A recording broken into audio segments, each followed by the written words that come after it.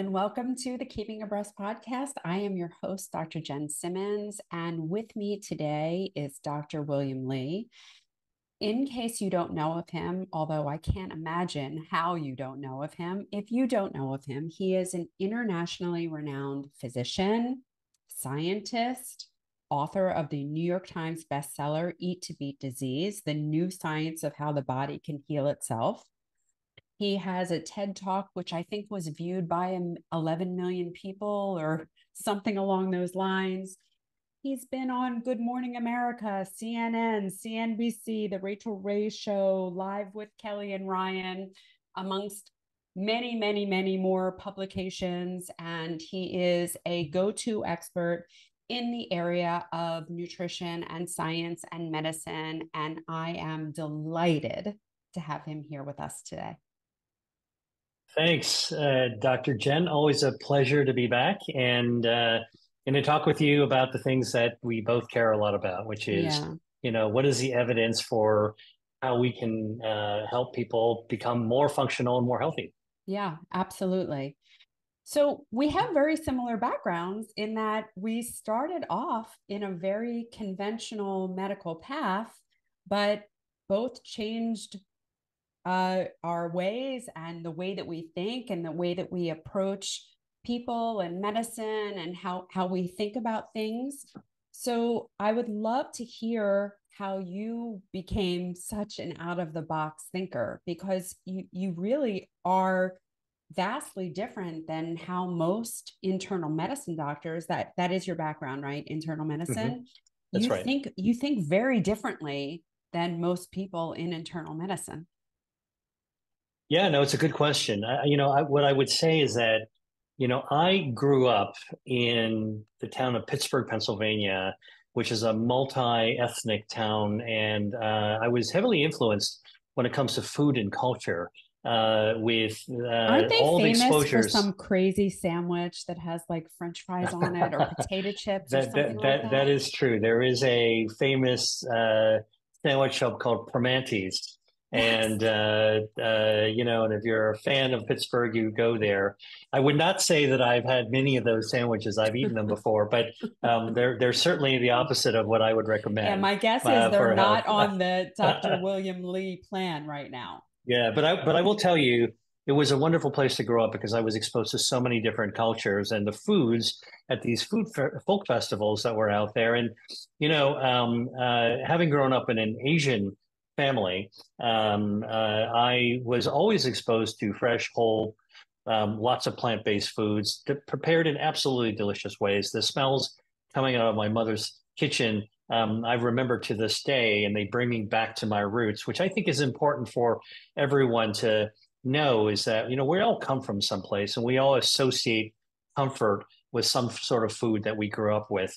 And um, and it's part of our humanity. But I, you know, when I was um, uh, before I went to medical school, I took a gap year, um, which was also not too common uh, back then. I, I, studied biochemistry, so I was kind of a science jock, but my gap year had very little to do with biochemistry. I actually went to Italy and I went to Greece in order to be able to study my an interest that I had been nurturing, which is the connections between culture, food, and health.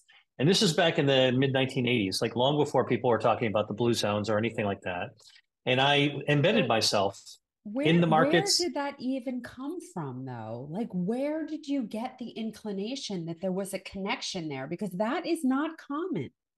You know, I, I again, I think that very early on, I was interested in foods from different places that were delicious and they weren't just they were not foreign to me they were in, it was interesting to me how the uh, people with different cultural backgrounds had generations of tradition that they were really proud of and every tradition every traditional uh, culture with food um, has some statement about how the food is healthy so think about the chicken soup with the jewish grandmother right i mean mm-hmm. there's some there's some truth to it and That's real. and That's it's real. real don't it's tell real. me any differently because my it, it grandmother is, would roll over in her grave. It is absolutely real. It turns out that chicken soup, there are bioactives in chicken soup, and this might be interesting for your listeners, that have been shown to um, slow down the um, uh, the uh, activity of neutrophils, which are immune cells. They get called into action when you actually have viruses. And so, if you um, have a cold, if you have the flu, if you have some other illness with a lot of runny nose and, and congestion, um, chicken soup actually has been shown to quell that inflammatory slash immune response and make you feel better. And so, you know, the, the thing is, I've always been interested in this sort of connection between like the why. Why does this work? Is it true? What is it could be the reason for it? And I think um, I, I, grew up with friends, uh, very close family friends that were um, Italian, um, and you know, I grew up eating all kinds of interesting foods. And and so when I had the chance um, before getting on the treadmill, as I think you and I would both uh, call it, uh, you know, the hamster in the cage on the mm-hmm. treadmill of medical school. Yeah, I thought, you know, I, exactly. I would take a year off and I would do a gap year and I would just be in a very different place than I grew up and see how the Italians ate and see how the Greeks ate. In fact, not only did I go to local markets and watch local families cook, I also went to restaurants to see how the chefs uh, interacted and how they thought about the menus and the seasonal foods. I also, even in Greece, I went to a monastic community, monasteries, and I um, embedded myself in this place called Mount Athos, um, where I had the um, I was called to action uh, by a uh, abbot of the monk because the chef of the of the monastery was sick with the flu, and they needed people to volunteer, visitors, pilgrims to volunteer to help cook Easter feast. So I literally went into these underground monastic kitchens with you know uh, big fires and and had canoe paddles to stir the beans with the oregano. It was you know in this dark, you know, stone walled thing that was like a thousand years old. Anyway, the point is, I really um, became even more convinced talking to people that there was a real belief system uh, in the value of the foods that they had. And they, and again, a lot of the what I learned from my gap year before medical school, before I had any training on drugs, pharmaceuticals, was that you know people really believed in the health of eating seasonally, locally, in uh, getting fresh ingredients and following traditional recipes uh, that uh, involve, you know, preparing foods with healthy oils, herbs and spices, using, you know, um, uh, nuts and seeds. You know, the stuff that we talk about now in functional medicine that seems new actually wasn't new. And so when I went to medical school, you know, uh, Jenn, this is like uh, you and I would, you know, we could, we could, uh, we could have a whole conversation uh, campfire conversation around this. You know, it's yeah. kind of like going to medical school for those of you who are listening is like being a torpedo loaded into a tube. All right. it, it, it, takes a lot of lifting to take this heavy torpedo, and you get into that tube. They close the hatch. It feels like there's no going back, and they shoot you out into the ocean, and you just keep on going underwater until you know something happens right? And that's something that you graduate as a doctor and we're trained in, in disease di- disease not health. We're treated we're treated in diagnosis not prevention. We're treated in uh, intervention um, and using pharmaceuticals or surgery all of which are amazing okay? Uh, all of which are life-saving stuff you know? And and you know I, I think for people who uh, haven't yet had a chance to go to medical school and you might be thinking about it um, uh, my experience was as I was learning about all this amazing stuff about the human body, what a privilege, you know, to learn how to deliver a baby, to take part in surgeries, to be able to watch life and death unfold as part of your education, and then to be um, given the privilege at the very end to be able to contribute to the world by helping to care for others, right? I mean, this is this is what you and I committed to doing. Yeah. But then what I realized is that what was missing was all the connections between the stuff I did my gap year on, right? So I, you know, my professors would say, okay, class, this is cancer. And this is hepatoma over the liver. And this is actually the connection to alcohol. And this is how you diagnose this. And these are the treatments. And I would actually do this over and over again. And I would ask my professors, you know, I'm glad you're telling me about disease, but I want to, I want you to just take a little time to tell me about health. You know, what is liver health as opposed to liver disease? How was that met? You know, it was uh, honestly, I, I, would get these people, their eyebrows would go up and they're like, you know, what a silly question. Mm-hmm. Um, you know, the young Skywalker, you know, they would say, they, they, they would actually say, you know, it, it should be obvious to you. Health is just the absence of disease. Now let's go back to disease. Mm-hmm. All right. Like, don't be wasting your time on health. And that always stuck in my craw as something that we needed the answers to. Now, I'm a researcher, I'm a scientist, I'm a vascular biologist. I spent decades in the lab designing experiments, figuring out how to turn those um, uh, con- scientific concepts into real treatments that eventually wound up getting FDA approved. I've been around, I've been around, involved with 45 FDA approved treatments for cancer, diabetes, and vision loss and, and cardiology. And so I know something about this whole process of, of applying science for disease treatment.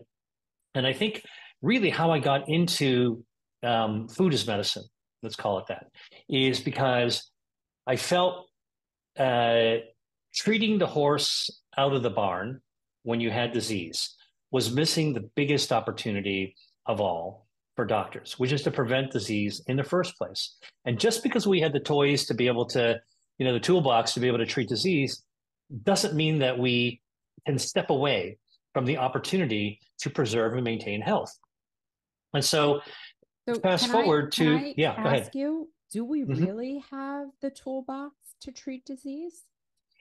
I think that there are many diseases that we're actually able to treat more than most people, most of the medical community thinks. We can even cure a number of diseases. And, you know, we can have a separate conversation about, you know, how do you define that? And, you know, like it's a medical conversation. But what I what I think is that, you know, like if you can prevent disease in the first place, what we have today is enormous scientific tools to allow us to apply what we what has been used by the pharmaceutical industry to develop drugs. If we crank the turret of those of those gun sights away from pharmaceuticals to foods and away from treatment to prevention, suddenly we now have the tools to understand the science of health. And that's exactly what I was looking for in medical school. That's the answer that my professors could not, would not give me. And so that's really why I, I, I really felt like this call to action. All right, like I don't need to prove myself anymore. Developing new cancer treatments, been there, done that. I'll, I'll still do it. Like it's still a worthwhile cause. But what I'm really passionate about is all right, we got to understand this thing called health, and we have to do it at more than a hand wavy perspective. Let's do the deep dive and understand it because if we knew, truly understood food as medicine in the same way that we understood pharmaceuticals as medicine, we wouldn't have this kind of as big a gulf between the medical community versus the um, the what what consumers, what patients, what ordinary people want. We want health. We want to do it with things that are um, enjoyable. We don't want to have to wait for the healthcare system to do the work that we could easily do ourselves and enjoy our lives along the way. So, you did set out to prove that food is medicine, and you did study a number of foods and compared them head to head with medicines. And I'm sure you're not surprised by the outcome, but I think many people would be surprised by that outcome. So, can you talk about that work? Uh, yeah, you know, that work was done, you know, almost 20 years ago. Uh, I was, as I mentioned, I have been involved with helping to develop cancer drugs. And so, to do that, we actually had to invent new tools to be able to throw experimental, maybe drugs of the future into the systems to see if they really could do what we hoped they would do. In this case, cut off the blood supply feeding cancer called anti-angiogenesis. Uh, I, I, run the Angiogenesis Foundation, and we thought we could contribute something to this. So we were involved with helping to develop the test systems for, for people drugs. who don't understand that concept. Can you just explain angiogenesis a little bit and what the relevance is in terms of cancer? Yeah. Okay. Uh, well, look. I mean, I'm on your show, and your show is really focused on breast cancer, and it's the perfect place to talk about it. So, angiogenesis, angio, blood, blood vessel, genesis, how they grow. Angiogenesis is very simply how our body grows blood vessels. And it's a process that happens when we're still in the womb to develop our entire circulation right? And our blood supply, our circulation feeds every cell, every organ in the body, including the breast. And in fact, blood vessels are absolutely critical for developing the breast during puberty, during pregnancy, uh, during lactation, and uh, uh, over the course of our lifetime, maintaining breast health. And so blood vessels are actually good. And they're good until, and they also heal our wounds. We we need to, like you know, as surgeons, every they're, surgeon they're knows. our life source. They deliver our life source, right? They're our, they are our lifeline. They're the mouthpiece that's connected to the scuba tank. If you are actually a diver, that's what angiogenesis is, our circulation. However, the, you know, just like anything else, good can become bad in the wrong context. And in this particular case, um, we know that cancers can form, but they're generally harmless. They can't go anywhere. They can't grow larger than about the size of the tip of a ballpoint pen. It's about two millimeters in diameter because they don't have a food source. They can't get an oxygen, they can't get a blood supply, and they're stuck. And in fact, we now know that um, people are forming these little tiny pimply like cancers in our bodies all the time throughout our entire lives and don't we'll never be diagnosed with cancer for them because our they can't get bigger and then our immune system um, conducts surveillance spots those bad guys and just wipes them out so we won't even know about it. You know, it's kind of like a pimple. If you see it on your face and it gets big, all right, you're going to notice it. It's going to be a crisis. If a pimple's on your back and it never gets big and it doesn't burst to cause pain or get infected, you won't even know it and your body will take care of it. And so cancer is really a disease of just living. And our, our, our immune system wipes them out, wipes cancer cells out until they get the sneaky ability a few cancer tumors gain the sneaky ability to be able to hijack our blood supply so that they can grow the lifelines that they need to grow. So think about it like a tumor that's normally harmless, sitting in the economy section of an airplane, walking up into the cockpit and busting in to take over the circulation. And when cancers hijack the blood supply to feed themselves, and I worked in the uh, Pioneers lab, uh, Dr. Judah Folkman, what was amazing is that the, the, the, the in the research has discovered that a tumor that's harmless, two millimeters, tip of the ballpoint pen, can't get any bigger. The moment a blood vessel touches that tumor to feed it, that tumor can grow 16,000 times in size in just two weeks. And the same blood supply that feeds the cancer also allows cancer cells in this expanding tumor to escape into the circulation as metastases. And this is very important, especially in breast cancer, when you think about it, because you know when we when we tell women to do their own self breast exam, you know, with their fingers in the shower, you know, it, uh, uh, remember I told you that the small cancers are two millimeters. The ones you can feel are about a centimeter in diameter already. Mm-hmm. You have to be pretty big in order for you to be able to feel it uh, with a with a self exam. Mm-hmm. A tumor that's about centimeters already about a billion cancer cells, and to support a billion cancer cells, the metabolism of a billion cancer cells, you need about 100 million blood vessel cells that are feeding it. So you can kind of see that we need better ways of doing early detection, whether it's imaging, whether it's blood tests or whatever it is. This is why, you know, all this preventative work that we talk about for women, um, for better diets, for making sure you manage all those lifestyle things that can actually help tame these little microscopic cancers and prevent them from hijacking the blood supply is absolutely critical for overall women's health. Okay, um, but what I'm saying is, so we were so we developed these test systems to look at um, new biotech medicines, and we had been doing this very successfully, time after time, drug after drug, and and they were getting approved. And so one day I decided um, to scratch the itch that I had since medical school about asking whether or not foods would actually have the same power as medicines, right? Except I'm a scientist, so I, I can't just hand wave about it. I got to know. And so, literally, um, I ordered food extracts uh, uh, and um, I labeled them as if they were drug candidates. And I mixed them into um, a box of the test substances, each in their own little vial. And I sent them onto the lab to be tested, right? And so, when the results came out, the people in the lab thought they were all drug candidates, and they're like, "Oh, there's some pretty good ones in there." And I and I alone knew what the identity was. And so when I looked at it and I and I unblinded, I say, "So you know exactly what it is." I was like, "Oh, OMG!" Okay, um, fifty percent of the food substances that I snuck in there were as or more potent than the drug candidates. And you know, you're you're saying that I wasn't surprised. My jaw hit the ground. All right.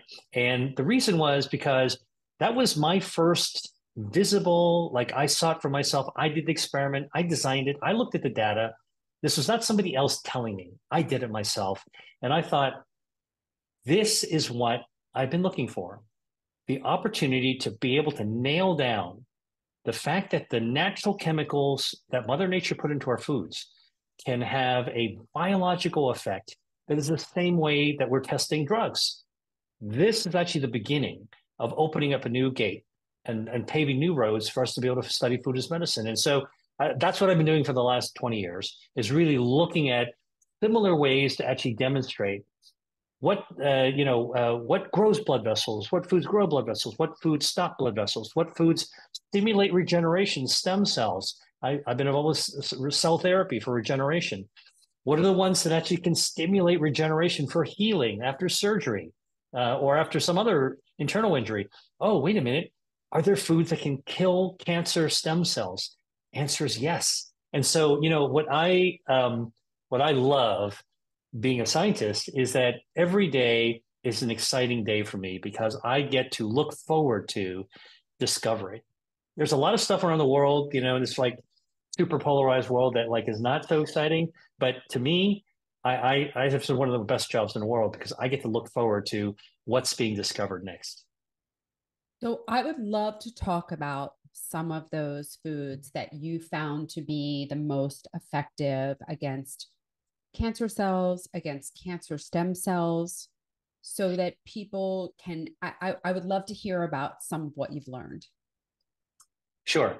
Well, first, I'm gonna I'm gonna describe some findings that have been done in humans as well as in the laboratory, and I want to actually preface that, frame it out for people listening to say the nature of research is that you never have the definitive answer. You keep on going to have a better understanding.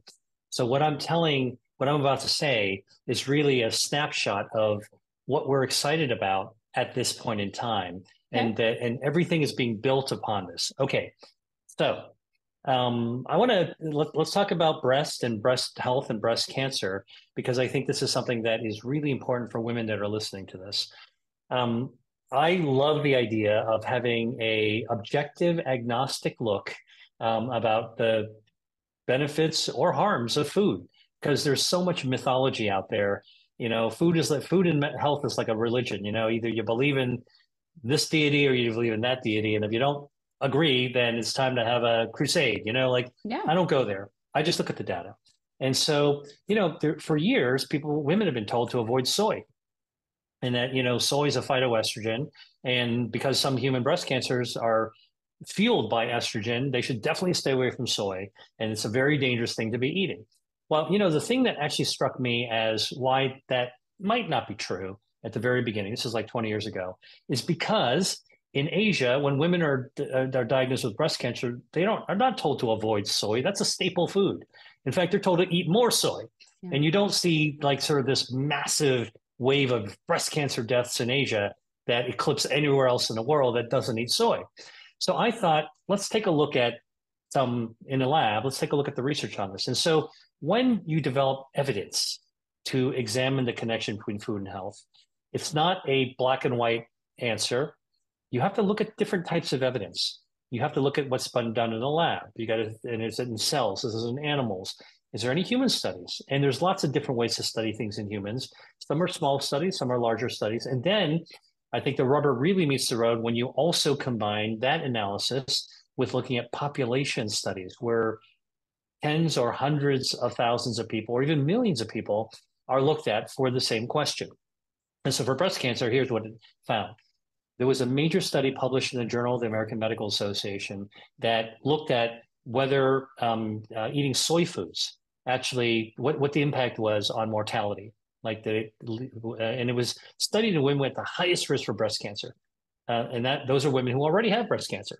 And what they found is that women who ate the most soy this was studied in asia because it's very common to eat soy. Right. Women that eat the most amount of soy actually have the greatest reduction in mortality up to 30% mortality by having the highest level of soy eating now, how do you get, what's the cut point to get to that 30% mortality? It's about 10 grams of soy protein a day. Now, what's 10 grams of soy protein? Is that a lot? Well, actually, when you do the calculations, that's the amount of soy protein you would actually get in about a tall glass of soy milk, right? And there's many different ways of having soy. I'm going to come to the reason for this in a second. And if you and if you um, so it lowers mortality, and in women who had had surgery, who were in remission for breast cancer, and wanted to actually not have it come back, it turns out that those women who ate the most soy also had the greatest reduction in the recurrence, the comeback of the soy of, of the breast cancer itself over five years. These are wins, okay? Um, studied in 5,000 people, published in a credible medical journal. And, you know, some people say, well, you know, that's just one study, you know, you can't trust one study. Well, after that, there were 13 other studies that found the same thing. In every single case, the more soy that's ingested, the better the outcome. And in no case was there increase in death. All right, so now, the, now you got to know why, right? It turns out that phytoestrogens, which are found in soy, like genistein, equol, daidzein, I, for people listening, don't worry about the chemical names. Leave that for people like me who actually do the heavy lifting. We, but we know the stuff that's in there. Mm-hmm. The phytoestrogens, like genistein, okay. Um, uh, uh, actually, if you look at a drawing of what the chemical structure of plant estrogens look like and compare it to human estrogens, they don't look anything alike. In fact, what's been found is that the plant estrogens block human estrogen. It's like Mother Nature's tamoxifen. Okay, and and and so this is probably one of the reasons that actual uh, soy ingestion can be beneficial in women with breast cancer and uh, help, not hurt. Now, the other thing that we discovered in our research is that the the the soy bioactives, the natural chemicals in there, actually cut off the blood supply, feeding cancer. So again, anti-angiogenesis, taming those blood vessels, preventing the cancers from hijacking the cockpit, or they have to kind of cut off their food supply, that actually is taming. And so we've looked at this in the lab at cells in animals. And this is also being found when you do imaging of women with breast cancer and soy. You can see there's fewer, the blood supply, blood flow decreases to the tumor. And so, you know, what we're where we're at now with this thinking is that in fact, um, uh, the the urban legend that has really been universal is now being modified to say, you know, it doesn't look like soy is harmful. In fact, it might be really quite helpful. And we need to actually build on this kind of research to then say, number one, are there ways that actually, uh, first of all, are there any ones for this is not true? But also, are there ways of improving on this, whether it's through foods and finding other foods that could do the same thing? Um, and then what do you do long term? You know, is this something that you do um, long term? Do you combine foods um, with different ingredients? So, and then what about for for other cancers as well? This is just one example of I think a loaded button issue that is viewed as controversy or you know it's an but I'm telling you it's an urban legend. The the so, the va- the vast majority of evidence shows that soy is safe and beneficial. So getting getting to the to the depths of that i have heard from a number of people who are medical oncologists accustomed to um, treating women with breast cancer and they have responded with things like well that's true in the asian population but not true across the board. Or they say they they insist that this is still controversial and I get, I still get questions every single day about whether or not soy is safe. Yeah. So it's so unclear to me if the data is there, why don't, why doesn't the med- medical system know that the data is there? Yeah. Well, you know, uh, you're pointing out something really important, which is that the doctors, the establishment of oncologists today have been trained in the same era that you and I were trained in, in which nutrition was not part of our curriculum. And in fact, we were told nutrition is not important. Leave it to the dietitians, you know? Um, we, we as doctors are taught the important stuff, which is pharmaceuticals and surgery. And in point of fact, that's changing for the up and comers, the young doctors that are coming out. The young oncologists are actually really interested in it and they're looking for the data the old guys i mean you know again I, I, know this is on a podcast for a general audience but you know you and i are both doctors so let's let's put our let's put the cards on the table. There's something called negative bias, confirmation bias. All right, where you looking you're looking for reasons to um, disprove something that you're not sure about yourself, so you look better at it. And this is, I think, what a lot of oncologists are doing today. You know, I haven't seen the data, so it must not exist. You know, uh, and and I will tell you that every oncologist I've spoken to who looks at the data, and it's it's it, there's too much data out there to look at. But look, podcasts like this, I'm I'm hopeful that there's some breast oncologist um, uh, or maybe a patient who's going to talk to the breast oncologist after hearing about this podcast that's going to look for that JAMA 20, 2009 article. By the way, 2009, 15 effing years ago. I know. All right. So I just think that uh, it takes time to change the medical community. Uh, all right. And we have to do our part to change it. Um, and in the meantime, I think where we are living now, uh, Dr. Jenn, is we're living in a time where patients are waking up to learn and advocate for themselves. And so one of the things that I think is that food as medicine is something is a kind of healthcare that women, women with breast cancer, but people in general, um, they do for themselves at home between visits to the doctor's office, whether it's a, a annual checkup, a gyne- gynecological checkup, or whether it's an infusion clinic visit. Health care is what we do for ourselves at home. Yeah. Sick care is what actually happens in the clinic and in the hospital. Yeah. And I think that when people start realizing that, you know, doctors are trained in sick care. All right. And what we're trying to do, what the you and I's of the world are trying to do, is to really kind of cross over the threshold to say, no, no, no, we also have a responsibility for healthcare. But in the meantime, the patients, the people, and their family members and caregivers, they can actually do something for themselves. Yeah. And I think that's so important because it's a misnomer. We don't have a healthcare system, right? We have a sick care system. And as you and I know, health doesn't happen in a doctor's office or a hospital or a chemotherapy suite or a radiation suite. Health happens at home. And only only individuals can make their own health happen. Yeah. Um, so I agree with you. I think that the data is in for soy. I think that soy is beneficial in the area of breast cancer. Uh, I am careful about the kinds of soy that I talk about being sure. Being non-GMO, being organic, being as unprocessed as or minimally processed, right? Um, I'm not talking to people about eating soy protein isolate or any of those kind of highly, highly processed forms of soy because we still want our bodies to recognize it as food. And the further we get away from the, the actual food, the less our body can recognize it and utilize it as such. But I, I think that soy is nothing but beneficial. Um, and yeah, it's a good, it's a good, it's a good source of protein yeah. uh, which is very important for uh, all people, but including women and especially cancer patients.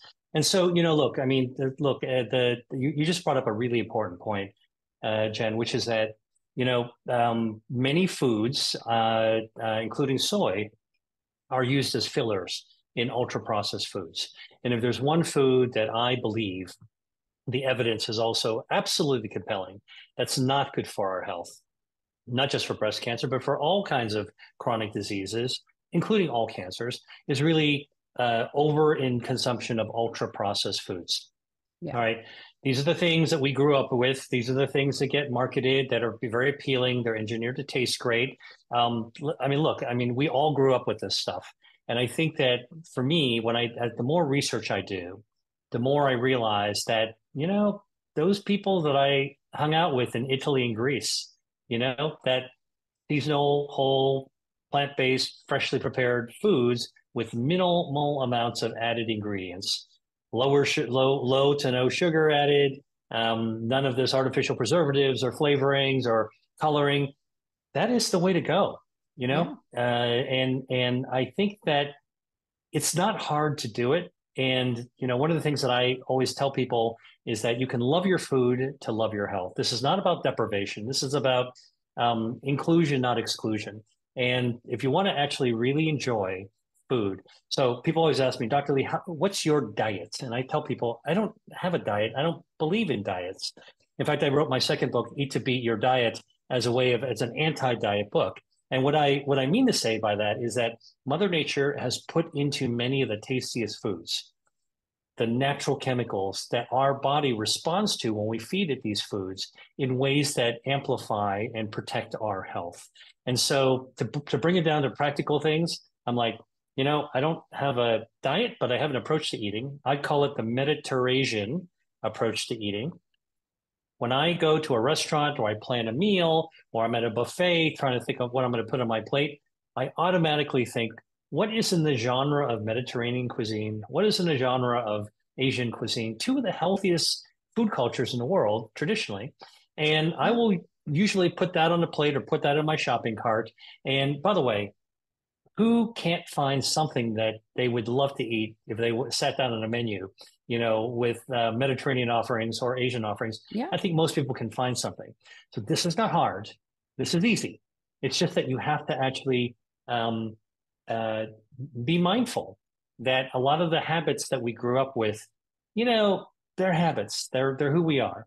And it's okay to snack on things every now and then, but there's a much better way to protect our overall health, and especially breast health, especially you know for the issue of breast cancer, uh, for long-term survival, long-term you know for healthy aging. All this stuff is really really important. Um, food is medicine, and it's something that we can all do for ourselves. So, I while you're talking about Asian cuisine, because I'm very fortunate to have had a nanny for the last 20 years who is from Japan. And there is not a lot in in the context of how Americans consume, but there is fish in her diet.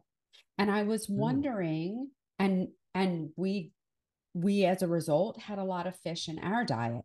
How do you feel about that these days now that we have so much mercury in our water? Yeah. Well, look, I mean, uh, we've we've got we've got heavy metals in our land too. So yeah, you know, we, we're I think that the wake up call for humanity is that we really do need to take care of our planet a lot better because we rely on our planet for what we're actually putting into our bodies. So it's never too late though. And what I would say for fish is that um, definitely try to cut down on the fish that actually are known to accumulate um, heavy metals and and and have more of it and that's higher up in the food chain. So if you eat the swordfish and the tuna and all that other kind of stuff, big tuna, um, they tend to have more heavy metals, including mercury, um, uh, and eat lower in the food chain. And so um, one of the things uh, is like, why are they good? Well, um, marine uh, uh fish and seafoods have omega-3 fatty acids, and they come from plankton that the tiny little fish eat. And these omega-3s, by the way, really light up our health. They actually are good for our gut health, for our microbiome. They're good for our blood circulation. They help our the lining of our blood vessels to so that we have better blood flow. They can also help tame those blood vessels that might be feeding cancer. They can contribute to that. They protect our stem cells so that we can regenerate better from the inside out. I mean, look, there's in all the, the, the they actually help immune system as well, help our immunity. So seafood is a staple for many of the cultures that have longevity. If you look at the blue zones, you know, Costa Rica, uh, Icaria in Greece, uh, Sardinia in Italy, although, you know, some of those Sardinians live up in the mountains and don't eat a lot of fish. But again, seafood is fine. And I think that um, uh, uh, you want to be careful of where you source your seafood and eat lower on the, the, the food chain. Um, a lot of people don't, uh, and a lot of people who don't live near the coast or don't from come from the culture are really not sure what to do with fish. All right. It, oh, it's too fishy for me. And so what I tell people is, and it was too expensive for me. One thing that I tell people, or it won't keep very long, is that there's an easy way to look at um, fish that can be very, very tasty. And um, a lot of people don't know this, but in the cultures of the Mediterranean, there's a long, hallowed tradition of pinning fish, small fish, mackerel, anchovies, sardines, squid, octopus. And what they do is they catch the fish fresh, they cook it right away, and then they um, put it into little tins with extra virgin olive oil, with some herbs and spices. It's really tasty. They seal that baby up. Okay. Um, and this is, they're called conservas. And it is the fastest, tastiest, quick lunch that you could ever have. Just pop open this. It's been in your pantry for, for a long time, and you'll always have some a source of protein, omega threes, and if you get it sort of Mediterranean style, it'll have healthy extra virgin olive oil and some other herbs and stuff as well. So again, I like to cook, and I like to, and I appreciate traditional eating, and so I always tell people. It really, this isn't about just listing a series of ingredients you have to eat, and you eat your broccoli and eat your mushrooms and eat your onions this is really about cuisine. It's about humanity. Mm-hmm. Food is part of who we are as people. Mm-hmm. Find the combination that works for you and in- integrate that into your life. That to me is the best way to be able to use food as medicine. So, and I, I couldn't agree with you more. And we're all bio individual, and what is going to be ideal for me is not going to be ideal for you, and vice versa. So, we all need to find ourselves in our diet. But I do think that there are still things like the things that you tested that are very um, important in terms of either preventing cancer, reversing cancer, preventing recurrence. So we talked about soy. Are there others? Yeah, let's let's let's go through some of the foods, and I won't do as deep a dive into them, but you know, it, it turns out that um, brassica vegetables your broccoli, your bok choy, your cauliflower, your cabbages, they all contain sulforaphanes that actually um, uh, have very, very profound anti-cancer effects in the lab, and they're associated with lower risk of cancer in large studies involving half a million people, for example, and called the EPIC study in Europe. So that whole category of greens, okay, no matter what part of the world you're in, you can find a brassica vegetable. And it doesn't have to be just salad you can cook them and they're absolutely delicious. The other things that are really good, mushrooms. Mushrooms are a great source of soluble fiber. Um, uh, and they contain beta D glucan, which is another thing that is good for gut health, activates your immune system, and is anti inflammatory, which is really important if you want to actually lower your risk for cancer. Mushrooms are a wonderful way. And by the way, vitamin, it's one, mushrooms are one of the few sources of vitamin D, which is also fighting cancer. I don't know if you know this. Um, uh, Dr. Jenn, but you know, um, mushrooms make their own vitamin D, just like human skin does. With you know, when we go out into the sun, our body will make our tissue will make more vitamin D. If you get a white button mushroom, if you want to have it make more vitamin D in the flesh, buy it, slice it up, and put it on a plate or a cutting board in front of the sun in front of your window for about three hours before you cook it, and it will make more vitamin D. All right, um, it'll wow. the, the sunshine. It's amazing, isn't it? I did not know that. Yeah, like give that your mushroom amazing. a tan, and yeah. it'll actually and it'll actually make more vitamin D. So mushrooms. So that's interesting yeah. because we share a lot of DNA with mushrooms. So is that is that same process happening? Yeah, I I, I learned that from Skye Chilton. Um, okay. Uh, Did not know that. He's the son of Jeff Chilton, who brought shiitake mushroom to the United States in I might be getting it wrong, but I think 1979. Oh wow. Okay. Um, and uh, he in in conjunction with and probably at the same time as Paul Stamets really introduced oh, yeah. medicinal mushrooms to the world. Mm-hmm. Um, so he he I forget what the percentage, but we share a large percentage of DNA with mushrooms, which makes sense because mushrooms are very intelligent life forms, right? I mean, yes. they're they are taking decaying matter and transforming it into that fruiting body that we that we consume. They are the connection, they are the network of the forest. It's how the forest communicates through that underground network of mycelium.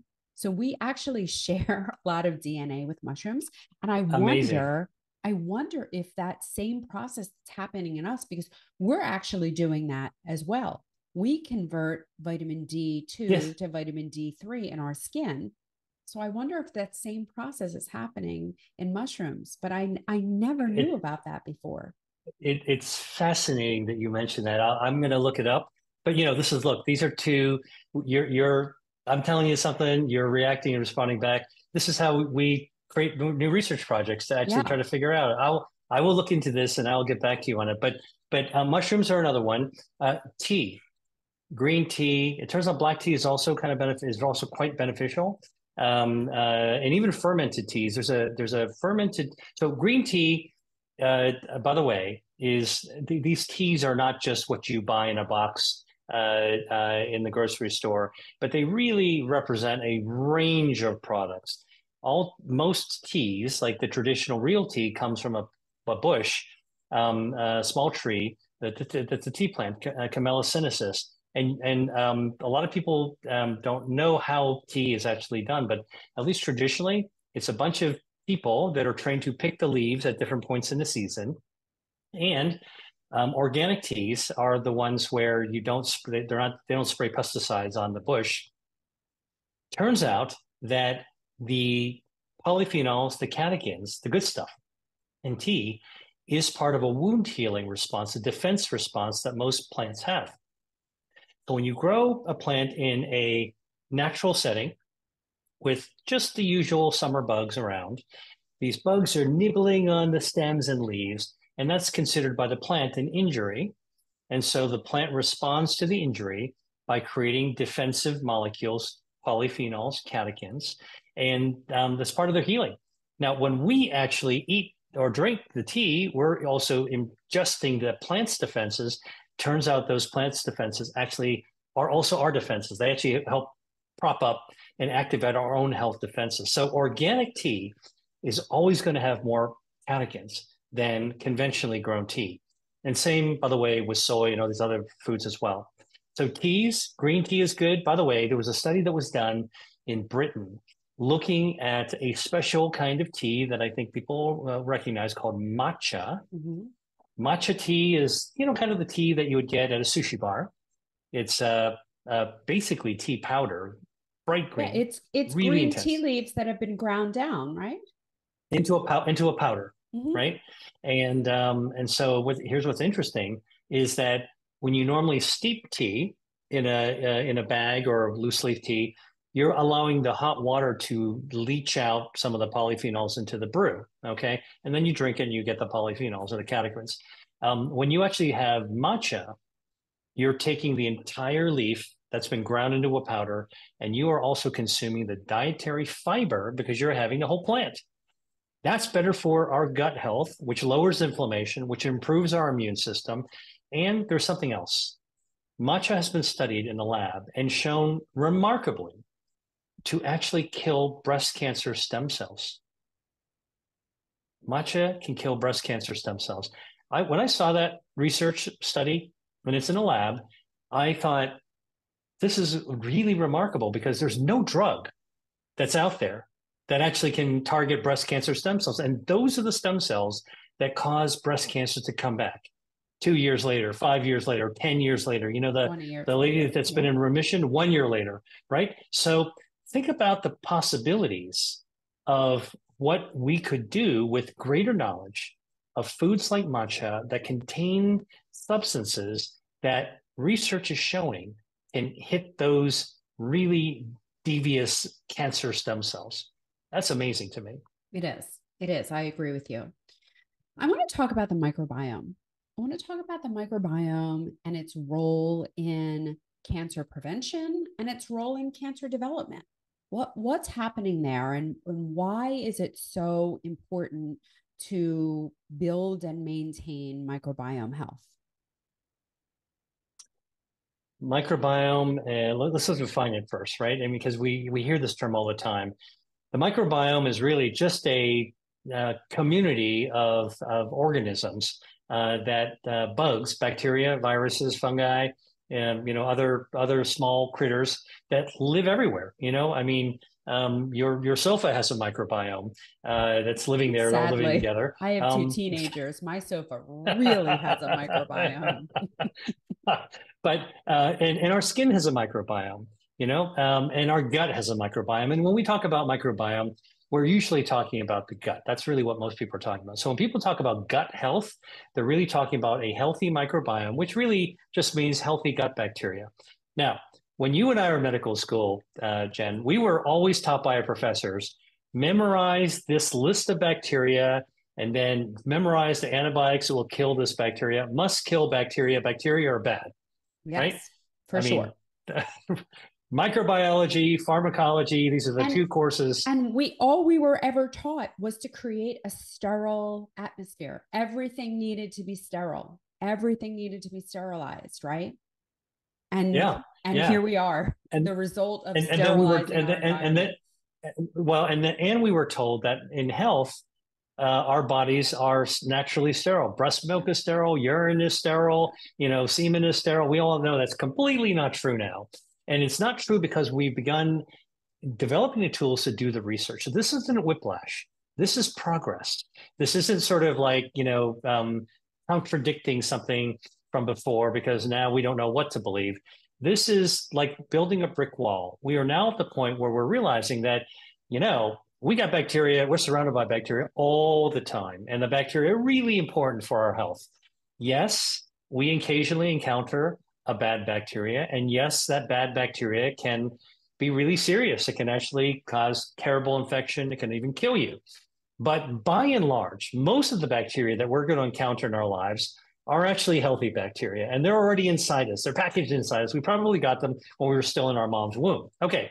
Now, we are just beginning to understand what the gut bacteria do. First of all, microbiome. Um, I, have been doing really deep dive research on this. Um, uh, uh, do you know where mo- the gut microbiome mostly lives? The gut bacteria, the 39 trillion bacteria in our gut. You know what Yes. part of the gut the more normally lives in? Uh, the colon. Yeah. Do you know what part of the colon? Um, my guess is the the left side descending sigmoid. Ah, okay. So I I, learned this. Oh, I, I learned something maybe new. maybe it's the right side because of SIBO. Well, Yeah. it's it, you're right, and it's in the cecum, which is on the right side, and it's really this pouchy part of the colon that connects from the small intestines, and it's where the appendix is. And in fact, we, we that's where most of your gut bacteria is in That this little so pouch called the cecum. The, And the appendix is probably like an an, Air traffic an control. immune or organ. an immune organ. And in fact, it's, we believe that it's an air traffic control for the microbiome. We don't understand how yet, but you know, we're now beginning to say, you know, maybe we don't want to remove the appendix whenever we can. And the other thing is that it probably is like a Pez dispenser for um, our microbiome. So, you know, like the Pez candy where you pop it open, there's always another one underneath it. We think the appendix is like a Pez dispenser for healthy bacteria. It just keeps on popping healthy bacteria back That's into the so cecum. interesting. Isn't that amazing? So a Okay, reservoir So, a reservoir, right? to seed, And- to and- seed, right? Yep. Yep. Wow, that's Okay. fascinating. So, and, and by the way, when you do a colonoscopy and you do a clean out, and anyone who's listening, if you've had a colonoscopy, you'll know exactly what we're talking about. You Mhm. drink the stuff the night before, you're cleaned out, and then they, you know, the butt pirates go in there and they take a picture of what's You in there, making sure you there's no cancer. all night.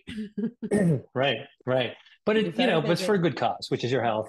Now, the thing is, it's been studied that when you do the clean out, it does change your gut microbiome because you're flushing all everything out. All right. But guess what? This has been studied too. Your healthy gut microbiome grows back within the first 24 hours after a clean out, after colonoscopy. It'll start to repopulate itself with what, whatever was there before. 24 hours. By a week, it's almost completely there, back. All right. So our gut microbiome is a is this community that really, really heals itself really well. And it, and here's what it does inside our gut. Wait, It lowers I inflammation. question Yeah. about that? Mm, Is yeah. that is that true of antibiotics? Do you repopulate the same we- way? we- and is it true of fasting? Uh, okay, two different questions. So for antibiotics, it depends on this. Uh, it depends on how sensitive some of the bacteria are to antibiotics and, and how powerful the antibiotics are. Now, um, uh, uh, you know, you get a Z-Pak for uh, bronchitis A or pneumonia. infection all right. Yeah, Mhm. or sinus infection. Guarantee you that's going to change your gut microbiome. You know what? Um, it kills off some of the good bacteria, and and if you keep on taking bacteria, uh, uh, uh, an- Antibiotics. antibiotics Mhm. over and over time, yeah, you know you're going to change the makeup of that healthy gut bacteria. And when you change the makeup of that community of healthy gut bacteria, um, it's like changing the neighborhood. You know, you move some of the good neighbors out, and maybe a drug dealer will sneak in and turn one of the houses into a crack house. All right. And that's basically how we wind up getting dysbiosis, which is that good gut bacteria wind up becoming replaced in some cases with bad bacteria. Lots of good guys, now some bad guys. Oops, there goes the neighborhood, right? And so, and then the, and the bad bacteria start to attract other bad characters. And this is really how I want people to think about this. Like we have a neighborhood and everybody intends to do well. And you want to keep that neighborhood really, really healthy. And, and our bacteria to keep them healthy is critically dependent on what we eat. We can eat um, uh, colorful, eat from the rainbow, produce, nuts and seeds, legumes. They feed uh, bioactives of polyphenols and the dietary fiber feeds our gut bacteria. That's their food. If you have a dog, as you said you just did, um, you do, and you're going to feed them kibble every day or twice a day, all right, or whatever. The bottom line is that you are mindfully feeding your pets. We are mind. We need to be mindful that three times a day, breakfast, lunch, and dinner, we are feeding our gut microbiome. You feed your pets at home something good, whatever you can afford, because you have your their best interests in mind. Same deal with our pet microbiome that keeps us healthy. Um, we want to make sure what we're eating is going to protect them and nurture them and give them what they need. And the reason is this healthy gut bacteria digest what we feed them. Okay. And what they produce are these other substances called short chain fatty acids. They get into our bloodstream, and you know what they do? They lower inflammation. You want to lower your risk of cancer? Lower inflammation. You want to lower your risk of autoimmune disease or the complications or flares of autoimmune disease? Lower inflammation. They also boost our immune system. Gut bacteria in our colon um, actually talk to our immune system. Uh, when I when you and I were in medical school, they never told us exactly where the immune system lived as adults. It turns out 70% of our immune system lives inside the wall of the gut. So in our colon, our healthy gut bacteria are like college freshmen living in a dorm, okay, with a thin wall. You know, remember freshman year, you just like can yell through the wall uh, to ask the, per- the the person the the person uh, in the room next door what kind of what they want in their pizza for that night, or where they want to go out for pizza. Hey, what do you want to do? And that's what our gut bacteria does. They actually communicate to our immune system. Healthy gut, healthy immune system. Unhealthy gut lowers our immunity, and when we, our immune system goes down, not only are we more vulnerable to infections in general, but we're also more vulnerable for those tiny little microscopic cancers we talked about earlier to stick around and start to hijack the cockpit to grow a blood supply. So you want to lower your risk for cancer. You want to make sure your gut bacteria is um, functioning, lowering inflammation, boosting your immune system. And then one additional thing that we do know for a fact is our gut bacteria is connected to our brain health. Recently, they uh, we've been we've been seeing research showing gut bacteria text messages our brain through a big nerve. There's a big nerve that pops out of our brain, runs down around our neck, and then ramifies like a horse's tail called the vagus nerve.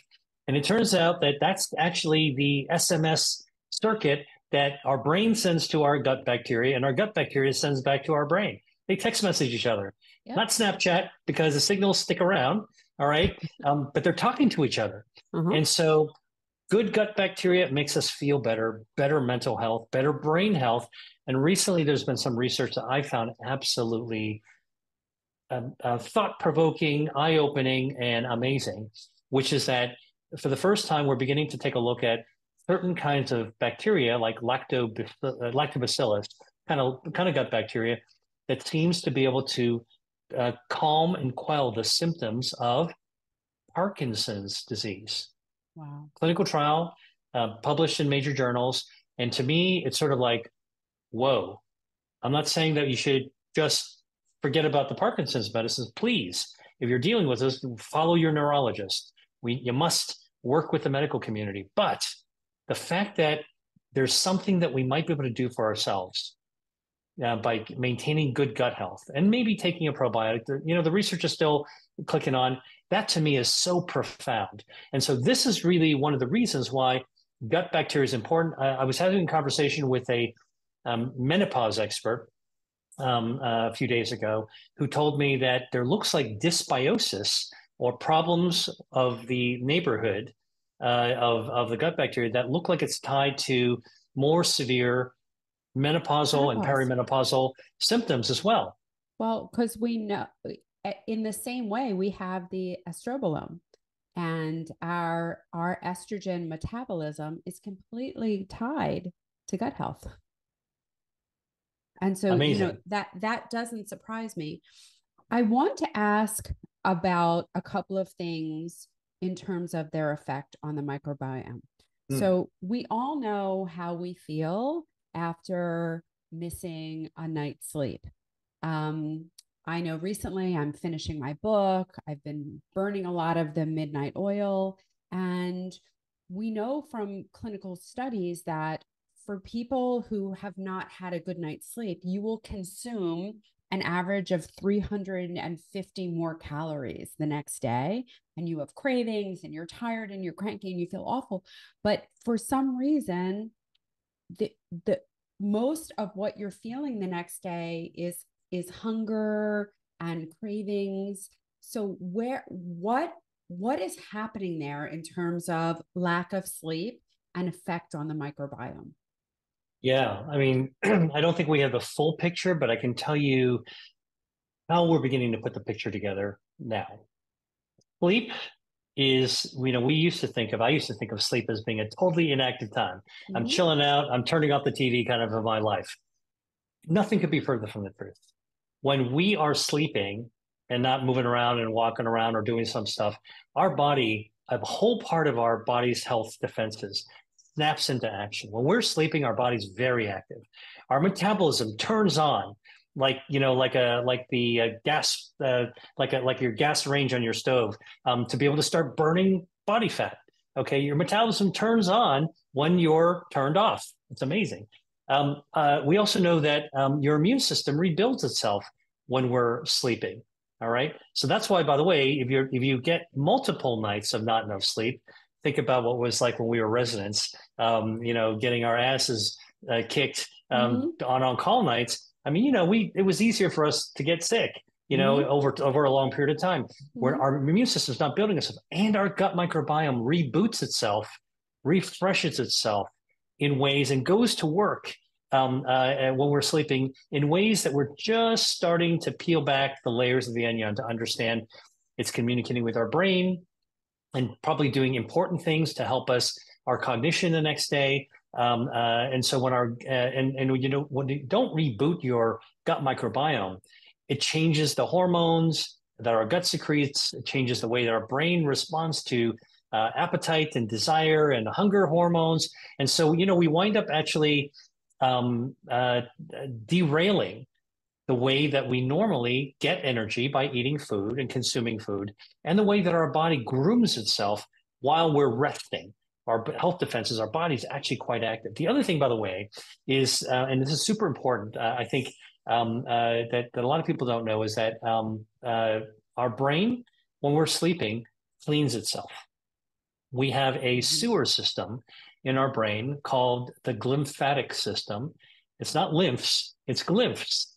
Okay. Glia is the, the brain cells. And so in the brain, it's a special system that drains toxins, drains fluid from our brain. It's kind of like the sewers of Paris. You don't see them when you're walking around looking at the Eiffel Tower, but they're they're there. They're there. And at night, at night, these sewer systems open up big time and it flushes all the toxins, those um, oxidative molecules, damaged cells, all the stuff that you don't want. It flushes it out and cleans your brain.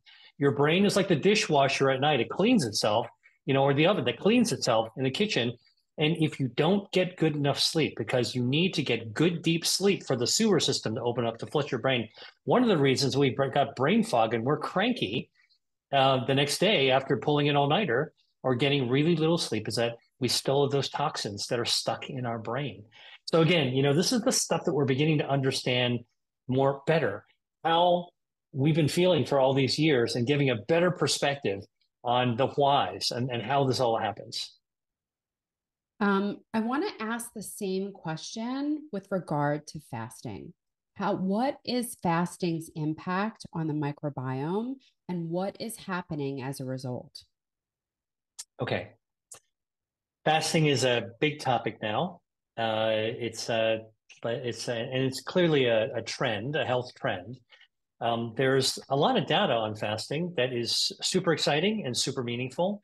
And fasting is not just one thing. It's there's a lot of different ways of practicing fasting.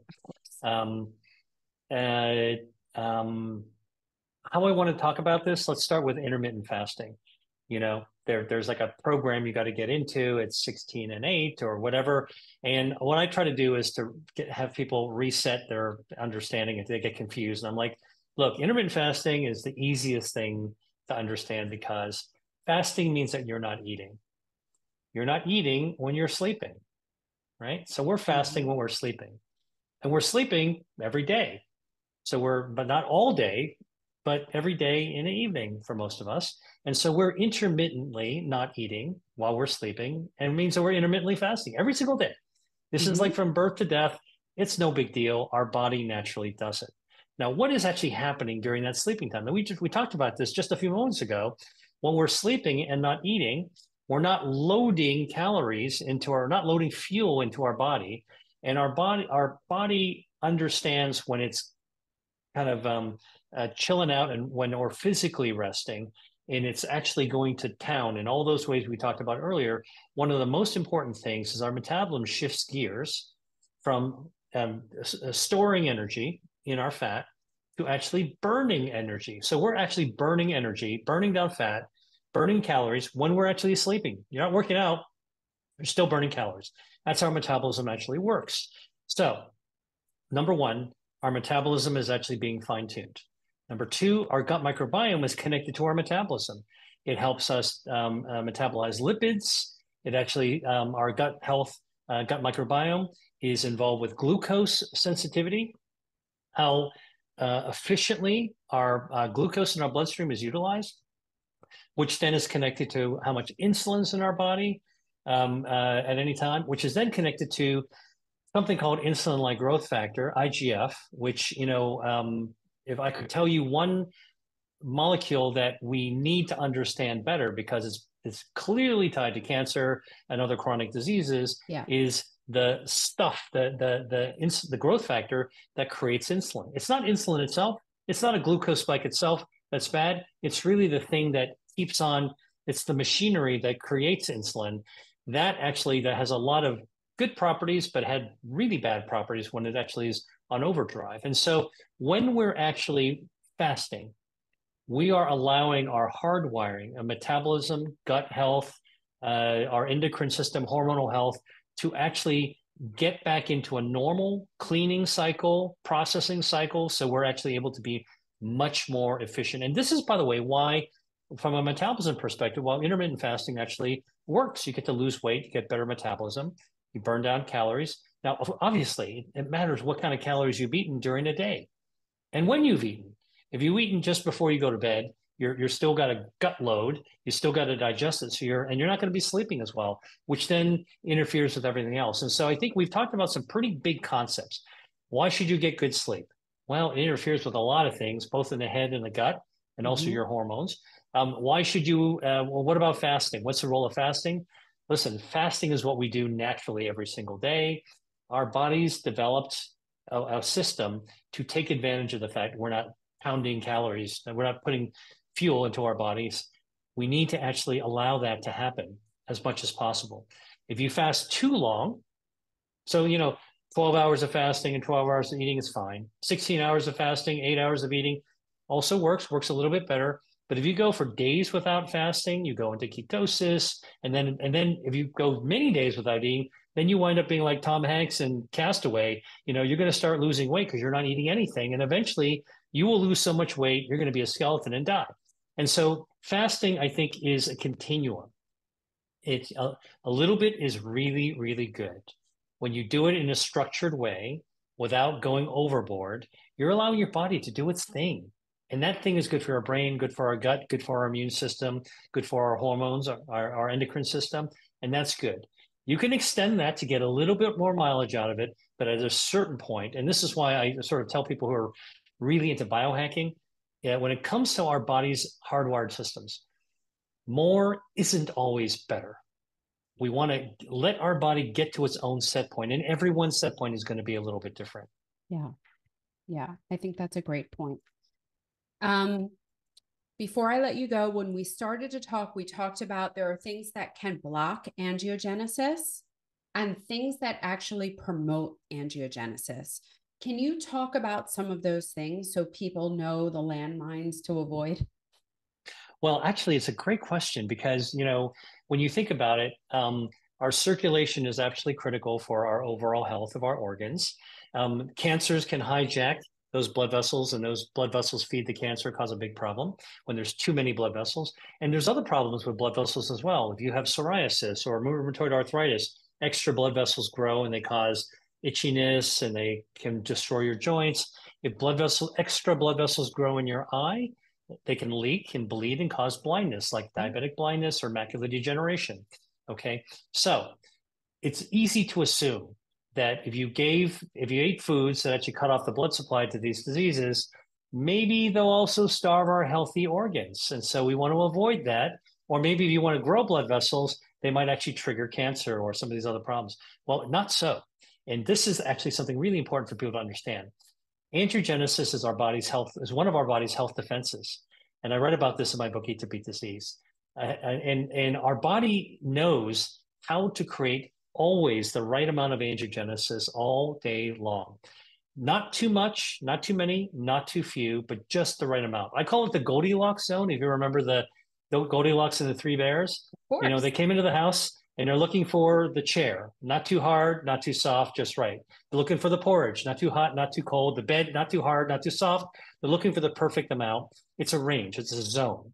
And the zone of health has just the right number of blood vessels at all times. And what's really great, Jenn, is our body knows how to control the right number of blood vessels so that if you eat foods that actually cut off the blood supply to cancer, or help preserve your vision, don't worry. Your body's not going to let them overshoot. You'll always have enough for your healthy organs. Same way that if you want to eat foods that can promote healing by growing blood vessels, like um, apples and pears and uh, fruit peel. Uh, uh, um, uh, there's all kinds of foods that can actually promote angiogenesis. Some can stop too many blood vessels and grow blood vessels to the right amount, help you get in that happy zone, the Goldilocks zone um, your body will always prune to make sure the garden of your circulation is perfect. Think about it. If you're if you had a golf course, all right, and you got all this lawn, occasionally there's going to be some weeds that are sprouting. Um, uh, just like your circulation, a few extra sprouting weeds could be a problem. Well, your body is like the landscaper. They're going to drive a lawnmower right over those extra weeds and trim them down, but they're not going to get rid of the beautiful um, uh, golf the, the the turf on the golf course, they're actually just going to go it to the right height. And if you have a so whole, you're saying our bodies are pretty smart, really smart, really smart. So you don't have to worry about it. Food is kinder and gentler way of helping our bodies support this Goldilocks zone. Drugs, on the other hand, uh, Dr. Jenn, are basically like nukes. We can take a drug, we can develop a drug, throw it into the body, and it can actually easily overshoot that smart system of our body to maintain balance. That's why food as medicine is a kinder, gentler way to achieve some of these goals compared to some of the drugs that are out there. But that said, always work with your doctor. I'm not giving, you know, we're not giving medical advice here. What we are trying to do is to tell people that you can eat to beat disease. It's actually something really important that we can all do for ourselves. And it starts all throughout our lives, but it's never too late to start to eat healthy food. And in my book, Eat to Beat Disease, I have recipes that come from my own kitchen, things that I eat myself. And I, I'm a foodie. I love tasty food. So this is not about deprivation. This is about leaning into your food, into the healthy foods that taste great. And that allows you to live your life in an enjoyable and healthy way. I couldn't agree more. I loved this book. Make sure everyone gets it. Eat to Beat Disease, the new science of how your body can heal itself. Dr. Li, I, I can't thank you enough for being here with me today, for sharing all your brilliance, for the work that you do, for making the world a better place, and for continuing to go after what you believe in and what you know to be true, because it's hard to get lost along the way. And there are a lot of naysayers. And I know it's not easy to say, yes, but, yes, but, right? And you did it. and you did a brilliant job of it. And you've helped a lot of people, millions of people. And I'm just, I'm so grateful to to know you, to have you here, and to have you as a resource. Well, thanks so much, Dr. Jenn. It's always a pleasure to speak with you. Uh, and uh, uh, there's so much more to cover as well. Yeah. So we're we're gonna have to do this again real soon. But for right now, I will say goodbye and thank you all for listening. If you liked this podcast, please share it with a friend so that more people can hear it because it's so important as we go along this journey to help more and more people understand that you have the power to heal. Our bodies are brilliant machines. We just need to give it what it needs and spare it from what it doesn't. It's Dr. Jenn. Bye for now.